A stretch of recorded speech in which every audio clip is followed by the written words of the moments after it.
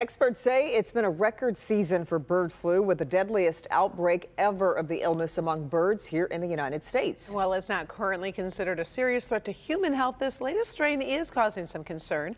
Our Dr. Frank McGeorge joins us now to explain a little bit more about what this is all about. Well, you know, Kim and Karen, we have already felt the impact of this record outbreak in higher egg prices at the grocery store. In fact, more than 58 million birds have died directly from bird flu or had to be killed because of exposure to infected birds. Those numbers are what has some experts so worried. The risk to humans remains low, but the latest outbreak of bird flu has already killed a record number of poultry. Which is raising the, the red flag or causing some alarm among researchers, public health, and clinical investigators about the possibility of seeing more cases in humans. There have been more than 6,300 known cases in wild birds in all 50 states, according to the CDC, but there are probably many more unknown. In 47 states, there have been multiple outbreaks among poultry.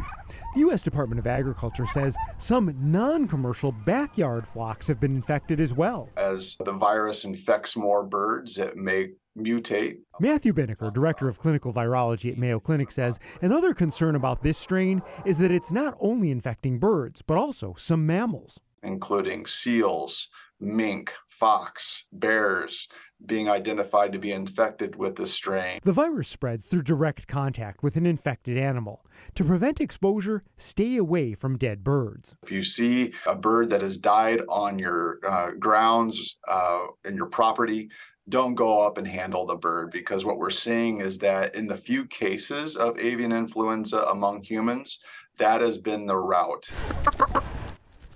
Now, the USDA has been working for years on a bird flu vaccine for potential emergency use in animals. And the University of Pennsylvania is also working on a vaccine candidate that could be used in humans if the virus began circulating among hmm. people. So, have we seen the worst of it, or can it get worse? Well, so this is the interesting thing. The CDC has actually assessed the pandemic risk as moderate if the virus were to mutate to a version that could spread easily from person to person. Mm. What's important right now is to take precautions to basically limit human exposures to sick birds. Now, the World Health Organization, they are also monitoring this situation closely. So it's not something to completely ignore, but it's not a huge thing on the radar yet. Sure. Okay. Thanks, mm -hmm.